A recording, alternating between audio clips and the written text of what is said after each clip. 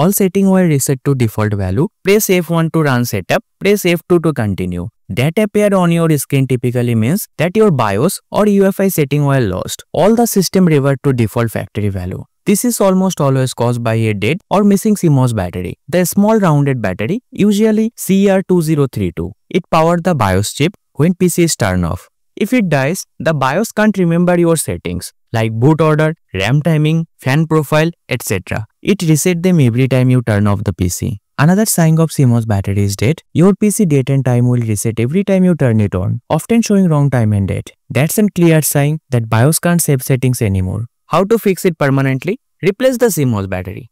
Power off the computer completely and unplug it.